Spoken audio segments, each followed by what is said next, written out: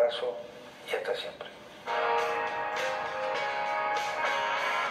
Sus pechos como punta de una roca se paseaban en el bar sirviendo tragos. Vestida como quien no quiere ropa y más trucos en la piel que cualquier mago. Tenía varios nombres para olvidarse